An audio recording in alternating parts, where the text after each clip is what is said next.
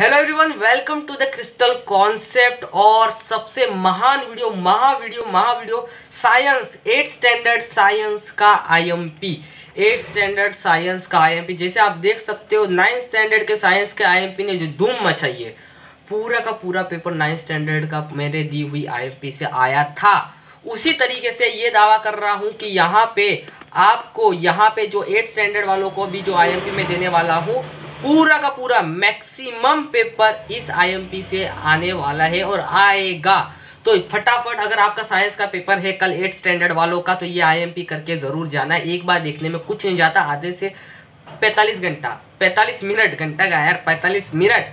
बस आपको इसके ऊपर काम करना, आपका काम खत्म। 45 मिनट्स देना 20 मिनट का वीडियो बनेगा और 15 मिनट इस पर 20-25 मिनट आपको अच्छे से काम करना है। Let's begin eight standard science IMP शुरू करते हैं।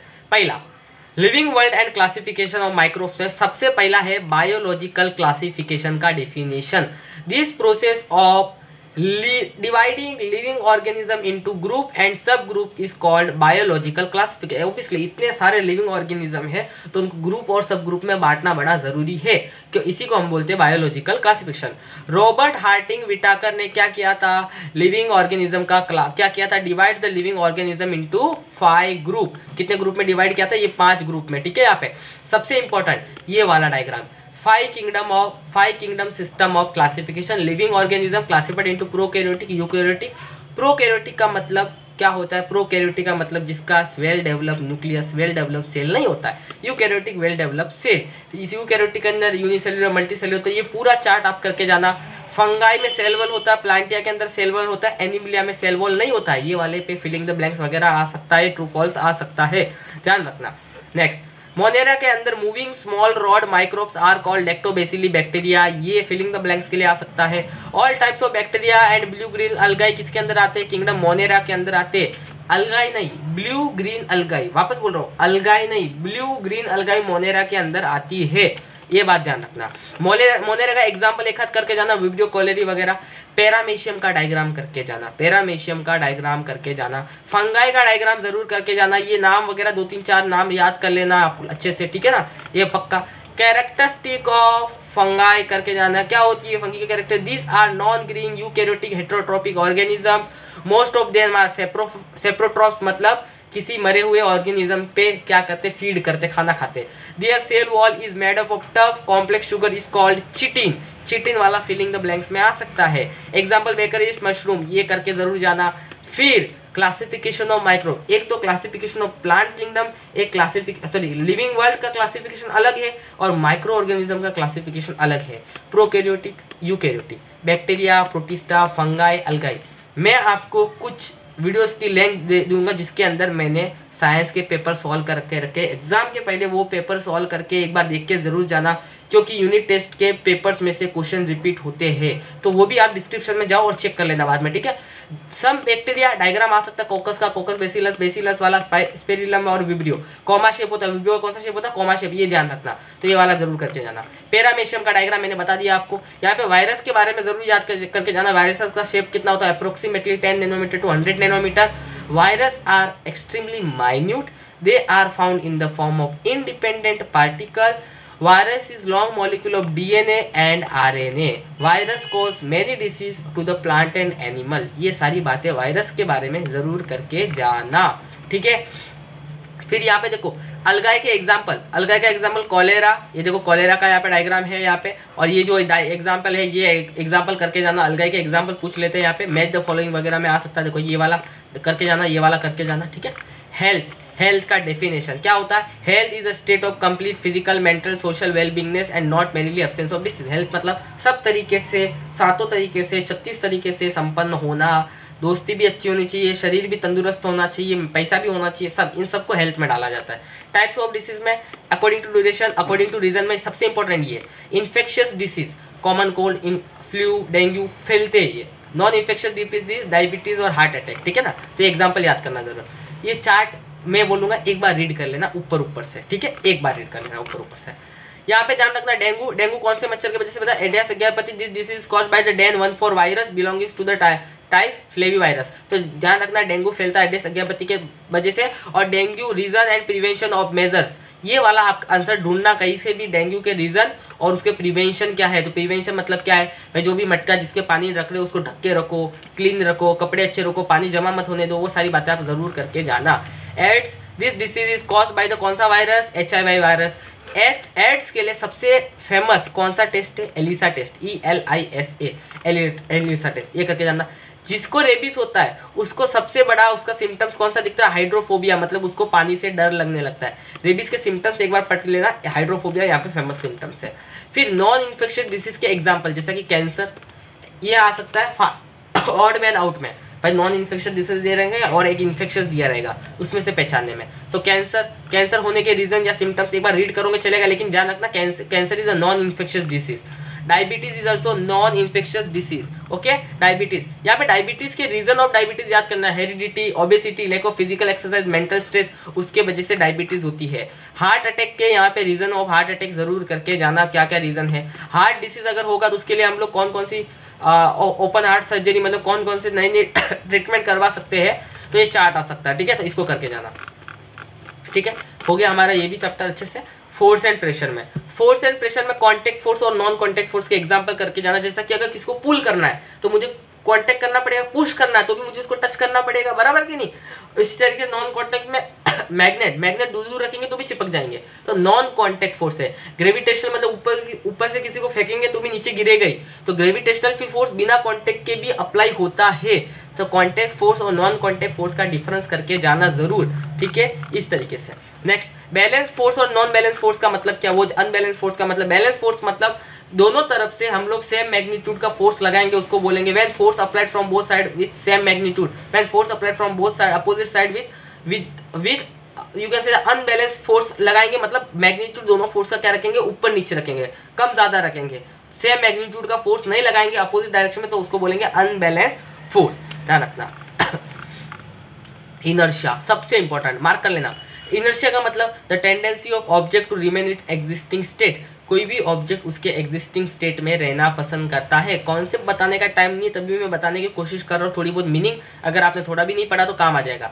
टाइप्स ऑफ़ इनर्शिया ज़रूर करके जाना। Inertia of motion inertia of direction of inertia ये नाम ज़रूर याद करके जाना, ठीक है ना? टाइप्स ऑफ़ इनर्शिया पहला है inertia of state of rest inertia of rest inertia of motion inertia direction inertia तीन इनर्शिया का टाइप होगा सबसे important what is the pressure? Force exerted perpendicular on unit area is called pressure. Pressure का formula force upon area unit of pressure क्या होता है unit of pressure होता है पास्कल और न्यूटन पर मीटर का स्क्वायर ध्यान रखना ठीक है वन बार प्रेशर होता है टेन टू पावर फाइव का पास्कल के बराबर सबसे पड़े if area increases pressure reduces for the same force and if area decreases मतलब एरिया बढ़ेगा तो प्रेशर घटेगा। एरिया घटेगा तो प्रेशर बढ़ेगा। सिंपल ये वाला बात ध्यान रखना। नेक्स्ट बढ़ते आर्किमिडीज प्रिंसिपल करके जाना। When the object is partially और fully immerse in fluid a force is buoyancy force देखो, क्या बोलता है? जब किसी ऑब्जेक्ट को अगर आप पानी में डुबाते हो तो उसके ऊपर मतलब मान लो ये ऑब्जेक्ट है, इसको हम लोग अगर पानी के अंदर डुबाएँगे तो उसके ऊपर बायोसी फोर्स लगेगा ऊपर के तरफ़। किधर लगेगा? ऊपर। उसके ऊपर बायोसी फोर्स का लगेगा? अपवर्ड डायरेक्शन और वो फोर्स किसके बराबर होगा? अगर आपने इतना वॉल्यूम का शेप का पानी में डाला तो उतना पानी बाहर भी निकलेगा। तो जितना पानी का वज़न बाहर निकला, जितना पानी का वेट बाहर निकला, उतना ही बायोसी फोर्स इसके ऊपर लगेगा। The force is equal to the weight of fluid displace by the object Archimedes principle ज़रूर करके जाना। आर्किमिडीज प्रिंसिपल ज़रूर डेंसिटी का formula mass upon volume relative density का formula density of substance upon density of volume numerical वगैरह करना, नहीं करना, वो आप पे डिपेंड करता है। ये ये मैच द फॉलोइंग करके जाना। बाकी जो बता रहा हूँ, पढ़ के ज़रूर जाना, ठीक है? एक्सरसाइज तो आपने किया होगा, ठीक है? ये वाला इलेक्ट्रिक सर्किट इलेक्ट्रिक सर्किट में क्या दिखाने का, एक आपको सेल दिखाने का, एक बल्ब दिखाने का, एक की दिखाने का, खत्म। नीचे इलेक्ट्रिक सर्किट का डायग्राम आएगा, वो करना, ये मत कर लेना। इलेक्ट्रिक सेल का मतलब क्या होता है? सबसे इंपॉर्टेंट काम what is the function of electric cell two main function of various electric cell is maintain constant potential difference क्या काम होता है? कांस्टेंट पोटेंशियल डिफरेंस मेंटेन करना। ये वाला डायग्राम ड्राई सेल का ज़रूर करके जाना। ड्राई सेल के अंदर जो जिंक का प्लेट होता है, वो कैसा होता है? निगेटिव टर्मिनल होता है। और जो ग्राफाइट रोड के होता है, वो कैसा होता है? पॉजिटिव टर्मिनल होता है। ये याद करके जाना। ट्रू फॉल्स के लिए आ सकता है। फिलिंग द ब्लैंक्स के लिए आ सकता है। Zinc negative graphite rod positive GP Z N G P Z N ऐसा याद करके जाना। फिर ये लीड एसिड सेल ज़्यादा इंपॉर्टेंट नहीं है, लेकिन थोड़ा बहुत तो है। तो एक बार देख के जाना। लीड एसिड सेल एक कंटेनर है, इसके अंदर इलेक्ट्रोड होते पी टू और पीबी के फिर यहाँ पे एक वोल्ट मीटर लगा हुआ है तो ये एच टू सल्फ्यूरिक एसिड इसके अंदर इलेक्ट्रोलाइट यूज़ किया। इतना ज़रूर करके जाना, ठीक है? सबसे इंपॉर्टेंट मैंने यहाँ पे मार्क नहीं किया, लेकिन nickel cadmium cell various gadgets are available which is required to carry different places just nickel cell cells are one point two इसमें से मैं बता देता हूँ, आपको रुका, इसमें से नहीं। रुको, एक मिनट एक मिनट एक minute. Lead storage cell cell cells are capacity to deliver large current has lead हाँ ये। Lead acid cells are use in car truck motorcycle and uninterrupted power supply मतलब यूपीएस अनइंटरप्टेड पावर सप्लाईज कौन सा cell use किया जाता है? Car truck motorcycle में? तो आपको याद रखना है लेड एसिड सेल कौन सा सेल लेड एसिड सेल ये ध्यान रखना है, भूलना मत भूलना मत लेड एसिड सेल फिर ये वाला डायग्राम मेरे को ऐसा दिल से लग रहा है, कल वाले पेपर में ये आएगा. या जब भी आपका पेपर होगा ना मैथ्स का, आज हो, दस साल के बाद भी हो कि आई नहीं है? यूट्यूब पे मचाने वाला मचाने वाला, ठीक है? तो सिंपल इलेक्ट्रिक सेल में देखो क्या क्या याद रखना है? इलेक्ट्रिक सर्किट में एक बल्ब लगाना है, एक आपको सेल लगाना है और एक प्लग प्लग की लगाना बस। इतना ध्यान रखना। ये वाला इलेक्ट्रोमैग्नेट ये करके जाना। इलेक्ट्रिक बेल का डायग्राम ज़रूर याद करके जाना और टाइम मिले तो प्लीज़ एक बार रीड कर लेना। इलेक्ट्रोमैग्नेट ये इलेक्ट्रिक बेल कौन से प्रिंसिपल पे काम करता है? इलेक्ट्रोमैग्नेट पे काम करता है। कौन से प्रिंसिपल है? इलेक्ट्रोमैग्नेटिक इंडक्शन इलेक्ट्रोमैग्नेटिक इंडक्शन पे। ये सेल का एडिशन एक बार देख लेना। एक्सरसाइज तो ऑब्वियसली सब बच्चे पढ़ने वाले है तो उसमें क्या बताने का? अब हम लोग आ जाते हैं next inside the atom के अंदर। देखो फटाफट आईएमपी ले लो, फटाफट फटाफट। थॉमसन प्लम पुडिंग मॉडल क्या बोलता है? According to model of model positive charge is distributed throughout the atom Thomson बोलता है कि पॉजिटिव चार्ज पूरे एटम में फैले हुए हैं और निगेटिव चार्ज इलेक्ट्रॉन इम्बेडेड और उसके बीच में हमने निगेटिव चार्ज घुसाए हुए हैं। तो ये थॉमसन का प्लम पुडिंग एक्सपेरिमेंट ज़्यादा इंपॉर्टेंट नहीं है, लेकिन एक बार रीड करना। सबसे इंपॉर्टेंट क्वेश्चन आता है कि why atom is electrically neutral electric atom electrically neutral क्यों होता है? Because the distribution of positive charge is balance by the negative charge on of the on the electron electron में जो न्यूक्लियस के अंदर जो प्रोटॉन का पॉजिटिव चार्ज होता है, उसको बैलेंस करते हैं निगेटिव चार्ज ऑफ़ इलेक्ट्रॉन। मतलब पॉजिटिव चार्ज इलेक्ट्रॉन के निगेटिव चार्ज से बैलेंस हो जाता है। बैलेंस होने की वजह से टोटल चार्ज ज़ीरो हो जाता है। That's why atom is electrically neutral खत्म। ये वाला। इसका आंसर और भी है। दो तरीके से दिया हुआ है। सबसे important Rutherford nuclear model of atom Rutherford का न्यूक्लियर मॉडल ऑफ़ एटम बाहर का आवाज़ बंद करना। Nuclear Rutherford nuclear Rutherford nuclear model of atom. इसके अंदर देख लो आप लोग क्या आएगा।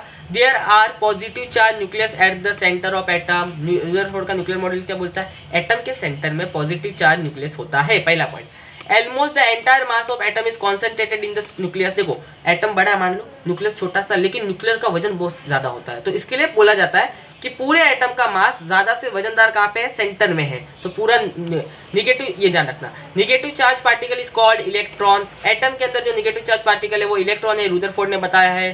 Total negative charge on the all the electron is equals to the positive charge on the nucleus as the opposite charge are balanced that's why atoms are electrically neutral तो electrically neutral के दो दो answer है जो भी आपको अच्छा लगे लिख लेना there is an empty space between the revolving electron and the atomic nucleus atom के अंदर empty space present होता है खाली जगह ठीक है रुदरफोर्ड स्केटरिंग एक्सपेरिमेंट अगर आप एक बार चाहो तो देख लेना ये स्केटरिंग एक्सपेरिमेंट का डायग्राम ज़रूर करना यार अगर टाइम मिले तो गोल्ड फॉइल वगैरह यूज़ किया जाता है अल्फ़ा पार्टिकल्स के ऊपर डाला जाता है तो जस्ट वह Bohr stable orbit atomic model तो ये एक क्या बोलता है? Electron revolving around the atom nucleus lies concentrating electron घूमते हैं न्यूक्लियस के अराउंड पहला बोलता है। Energy of electron is constant while the electron अगर किसी ऑर्बिट में घूम रहे हैं तो उसका एनर्जी कांस्टेंट रहेगा, बदलेगा नहीं।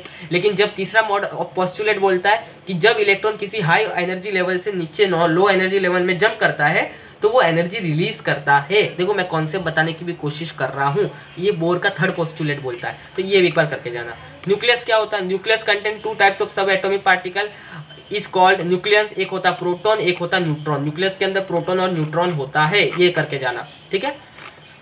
How many types of sub atomic particle proton neutron electron which sub atomic particle electrically electrically charge proton and electron nucleus के पास कोई चार्ज नहीं होता। इलेक्ट्रिकली चार्ज कौन होता? प्रोटॉन और न्यूट्रॉन सॉरी प्रोटॉन और इलेक्ट्रॉन शेल्स होते हैं एटम के अंदर। पहला शेल के एल एम एन कित, कौन से शेल में कितने इलेक्ट्रॉन्स आते हैं वो इस फॉर्मूले से डिवाइड होता है। एन का वैल्यू वन तो पहले शेल में दो आते हैं, दूसरे शेल में आठ, तीसरे शेल में अठारह, फिर बत्तीस। तो यहाँ पे आपको मैंने लिख के दिया हुआ है। इस तरीके से shell wise electronic what is the electronic configuration shell wise distribution of electronic atom of an element is called electronic configuration ये करना।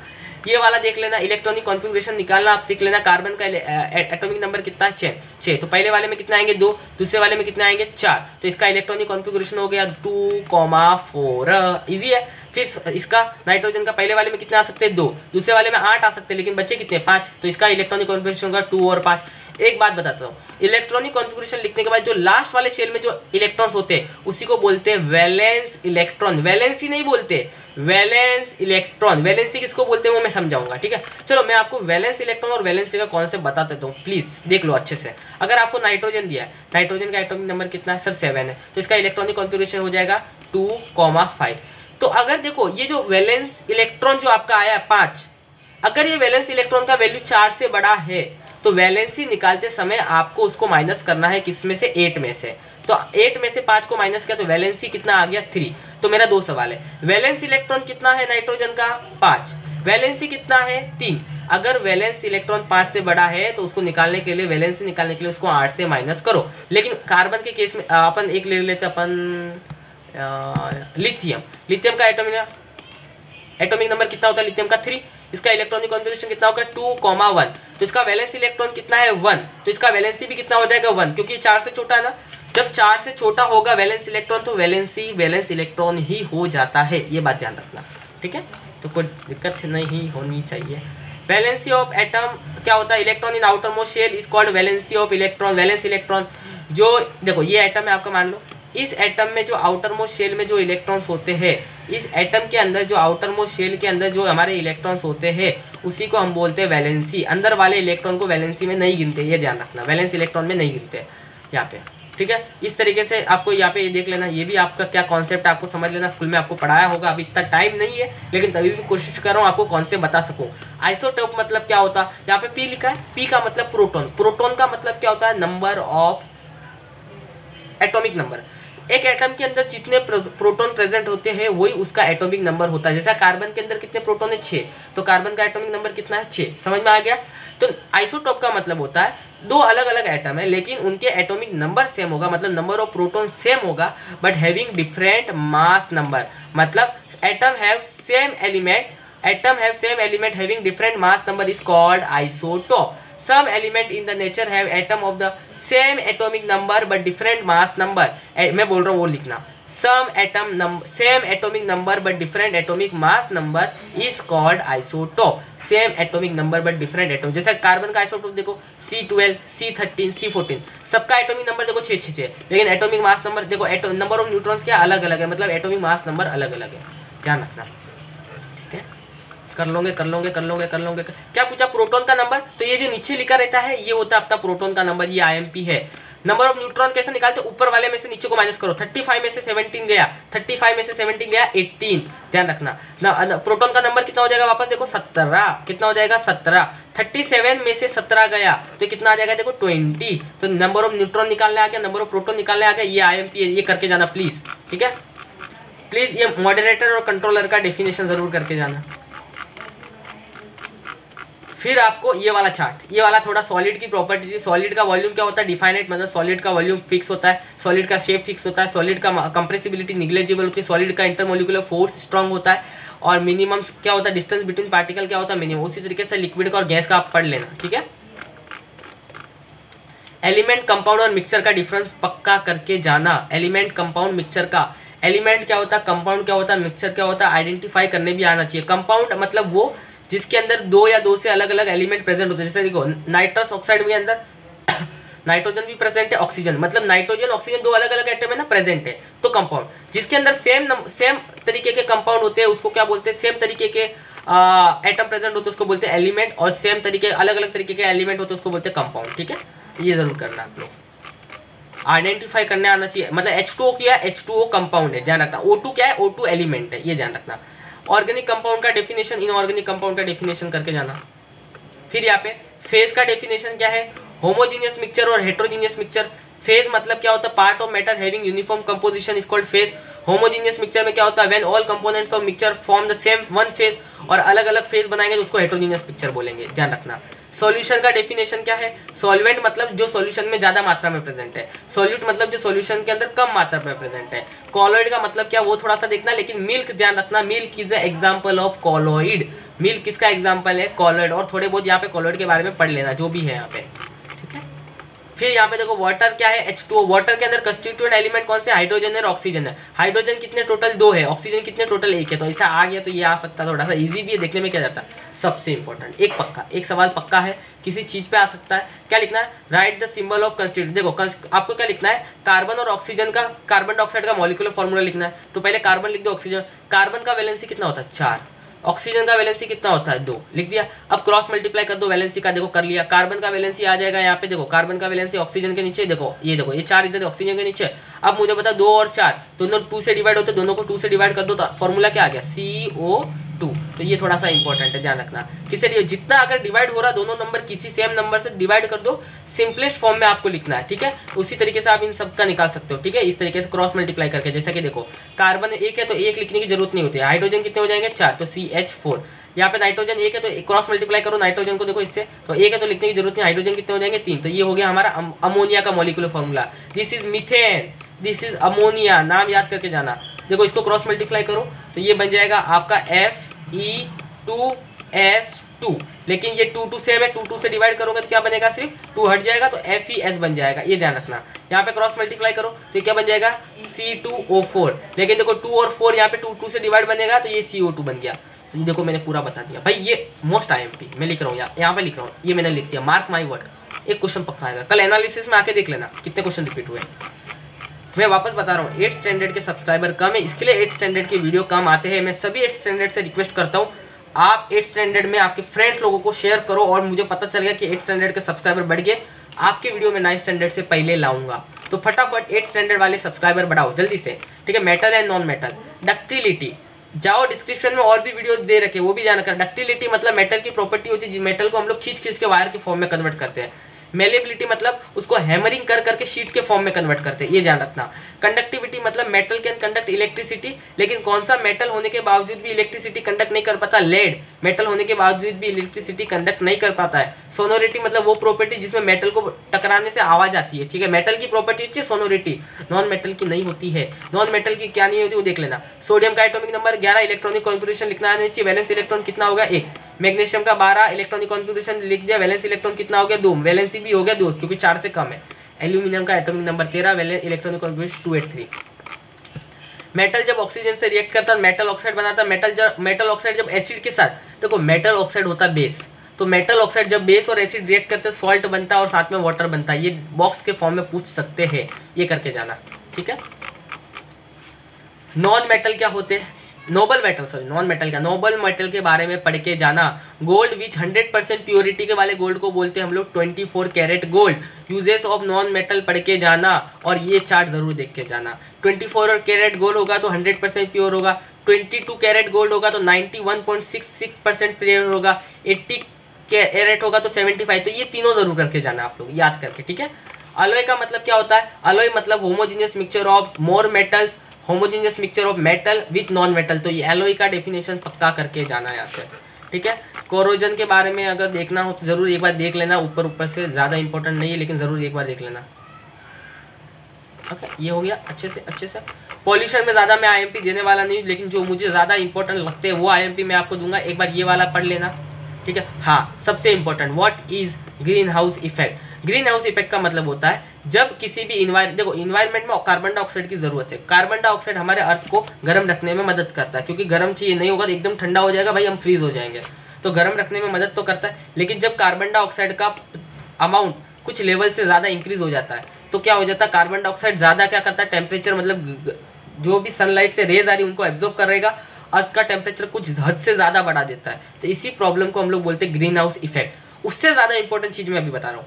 यहाँ पे जो लिखा ना carbon dioxide nitrous oxide, methane CFC ये चारों की चारों ग्रीन हाउस गैसेस है। This all are greenhouse gases odd man out में पक्का एक सवाल आएगा देखना। Carbon dioxide nitrous oxide methane C इनके साथ में एक और किसी को दे दिया होगा तो वो अपना ऑड मैन आउट हो जाएगा, बाकी ये सारी ग्रीन हाउस गैसेस हो जाएगी। तो carbon dioxide nitrous oxide methane C वापस बोल रहा हूँ C F C C F C C F C acid rain का मतलब क्या होता है? मैं समझाता हूँ, देखो एसिड रेन का डेफिनेशन था oxide of sulphur and nitrogen company से, देखो, कंपनी से ऑक्साइड और सल्फ़र नाइट्रोजन के ऑक्साइड निकलते हैं। पानी के साथ मिक्स होते हैं। ऑक्साइड्स मिक्स विथ वाटर और क्या बना देते हैं? एसिड बना देते हैं। कौन कौन सा एसिड सल्फ्यूरिक एसिड और nitric acid sulphuric acid nitric acid और नाइट्रस एसिड बारिश के साथ, पानी के साथ नीचे आता है वाटर ड्रॉप के साथ नीचे आता है, ज़मीन के साथ मिलता है, उसी को हम बोलते हैं एसिड रेन एसिड रेन से क्या क्या प्रॉब्लम होती है? जस्ट एक बार ऊपर ऊपर से रीड कर लेना। आ गया तो मैं इससे ज़्यादा इसमें ज़्यादा आईएमपी नहीं बताने वाला हूँ आपको जैसा मैंने बोला है प्लीज़ इस चैप्टर को अपने हिसाब से कर लेना है लेकिन जो आई एम पी बताया वो करके जाना ठीक है? डिजास्टर मैनेजमेंट में क्या आई एम पी बताना लेकिन इसमें मैं एक बता दूँगा कि भाई जो भूकंप को मेजर करने का जो इंस्ट्रूमेंट है ये ये वाला प्लीज़ एक बार कर लेना भूकंप को मेजर करने वाला इंस्ट्रूमेंट ठीक है? आ, इसमें भी कमी आई एम पी मैं बता रहा हूँ आप लोग को लेकिन ज़रूर जो बता रहा हूँ वो करके जाना। Types of fire class A में सॉलिड सब्सटेंस आते जिसको हम लोग पानी से बुझा सकते हैं। क्लास बी में लिक्विड सब्सटेंस आते जिसको हम पानी से नहीं बुझाएँगे। Flammable liquid substance petrol oil varnish तो ये ध्यान रखना क्लास बी के अंदर लिक्विड सब्सटेंस आते हैं। क्लास सी के अंदर गैशियस सब्सटेंस आते हैं। क्लास डी के अंदर केमिकल सब्सटेंस आते हैं जिसको भी पानी से नहीं बुझाना। जैसे कि पोटेशियम सोडियम कैल्शियम पानी डालते आग और पकड़ लेते तो पानी से मत जाने जाना। ठीक है? क्लास ई के अंदर इलेक्ट्रिकल सब्सटेंस आते हैं। तो ये बहुत ज़्यादा इंपॉर्टेंट था, लेकिन थोड़ा बहुत ये कूल आउट ये क्या मेथड है? Method for the fire extinguishing एक बार जस्ट रीड करना। फिर है cause of landslide landslide क्यों होती है? वो रीज़न याद ज़रूर करना। इफ़ेक्ट ऑफ़ लैंड स्लाइड नहीं करोगे, चलेगा, लेकिन कॉज ऑफ़ लैंड स्लाइड ज़रूर करना। ठीक है? बस। तो यहाँ पे हमने पूरा साइंस का आईएमपी दे रखा है सेमेस्टर एग्ज़ाम का। तो प्लीज़ प्लीज़ प्लीज़ अगर अब तक आपने एट स्टैंडर्ड वाले अगर आपने वीडियो को शेयर नहीं किया है तो इसका मतलब एट स्टैंडर्ड के सब्सक्राइबर कम है वीडियो थोड़े स्लो आएँगे। अगर वीडियो की प्रोसेस आप फास्ट करने चाहते हो तो प्लीज़ चैनल को सब्सक्राइब करो, शेयर करो, जितना हो सके। और आपने सपोर्ट तो बहुत ही किया यार।